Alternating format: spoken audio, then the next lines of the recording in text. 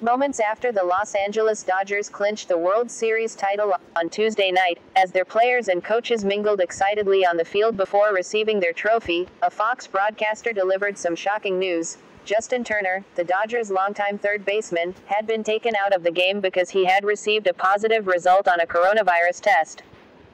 It would have been a stunning revelation after any game, but this was the deciding game, of the World Series, the climax of baseball's marquee event playing out on national television in front of millions of viewers. The completion of the season had been seen as a triumph of Major League Baseball's plan to keep the virus at bay, a plan that had been tightened during the regular season after significant outbreaks within two major league clubs. But Turner's positive test during Game 6 put a damper on the end of season celebrations and raised questions about the handling of the situation by both MLB and the Dodgers, as well as about what would happen to members of the Dodgers organization in the coming days after being exposed to an infected individual. It's a bittersweet night for us, Major League Baseball Commissioner Rob Manfred said during an interview with Fox after presenting Corey Seager with the World Series Most Valuable Player award, and before Turner was seen celebrating on the field. We're glad to be done, Manfred continued. I do think it's a great accomplishment for our players to get this season completed, but obviously we're concerned when any of our players test positive. We learned during the game that Justin was positive and immediately isolated him to prevent the spread. Turner, 35, who has been with the Dodgers since 2014, was replaced before the start of the eighth inning of the 3 1 win over the Tampa Bay Rays. At the beginning of the Dodgers post-game celebration at Globe Life Field in Arlington, Texas, Turner was not seen with his teammates on the field. He posted a tweet shortly after the game saying he had no symptoms, adding, Can't believe I couldn't be out there to celebrate with my guys. But minutes later, Turner was back in the field, holding the trophy, kissing his wife and mingling with other players, coaches, team officials, and family members. At times, he was wearing a mask. During other moments, including the team's group photo with the trophy, he was not.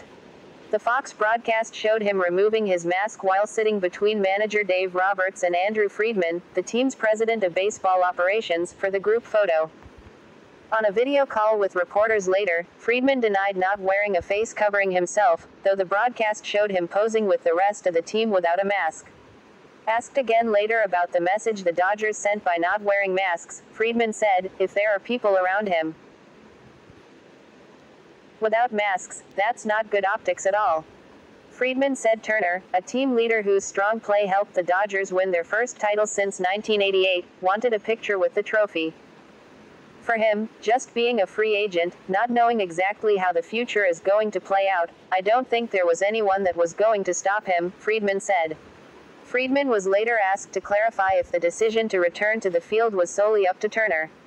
It wasn't up to Justin, he said, I think Justin wanted to come out and take a picture of the trophy, and did. The Dodgers star outfielder Mookie Betts, speaking to reporters on a video call, dismissed concerns about Turner being on the field. Forget all that, Betts said.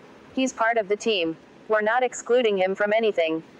Although Friedman admitted he hadn't watched Turner closely given the commotion of the celebration, he said Turner, who did not speak to reporters after the game, had been mindful of others, especially those he hadn't already been in contact with. From our standpoint, Friedman added later, I think the people who were around him were people that would be in the contact tracing web anyway, with just how closely a lot of us have been around each other.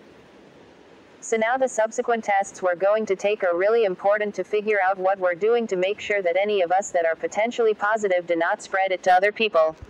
Friedman said he was unsure when the Dodgers would be able to return home to Los Angeles, but for now they plan to return to their hotel to undergo testing and contact tracing. Congratulations to the LA Dodgers on winning the World Series, the MLB Players Association said in a statement on Twitter. We're obviously concerned with respect to the report of a positive test and we will work with players, their families and the league to see that all precautionary health and safety protocols are followed. Friedman said that the Dodgers had learned of Turner's positive test during the seventh inning, a moment he described as extremely surreal. Word was sent to a team trainer, who told Roberts that Turner needed to come out of the game immediately. Turner, who went 0 for 3, was replaced by Edwin Rios at third base at the beginning of the eighth inning, when the Dodgers were leading by 2 to 1. Seager, a shortstop who has played alongside Turner for six years, said it was gut wrenching not to have Turner on the field for the end of the game and immediately afterward. He said he wished he could have switched places with Turner. During the regular season, players and on field staff members were tested for the virus every other day. But during the postseason, the testing was increased to every day. As of Friday, MLB reported that there had not been a positive virus test among players for 54 consecutive days. For the final three rounds, of the postseason, which were held at neutral sites to cut down on travel and potential exposure to the virus, the Rays and Dodgers, like other teams in the playoffs, were in so called bubbles. They were restricted to hotels that were closed to the public and taken to and from the stadium. Players' wives and children were allowed to join them as long as they had quarantined. After larger outbreaks temporarily halted the seasons of the Miami Marlins and St. Louis Cardinals early.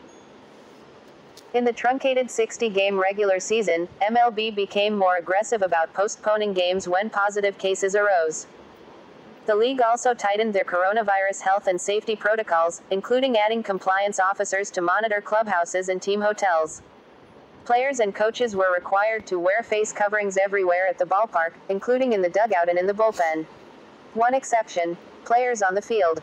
Over the course of the year, that rule was sometimes ignored, including on Tuesday. Like, share, subscribe my channel.